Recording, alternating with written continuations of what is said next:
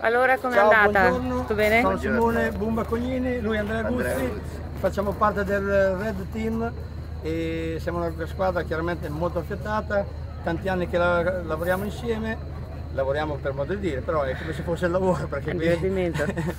E tutto bene, le prove sono bellissime, l'accoglienza delle persone è splendida, l'organizzazione pure e la macchina ancora funziona, le ruote girano e andiamo avanti.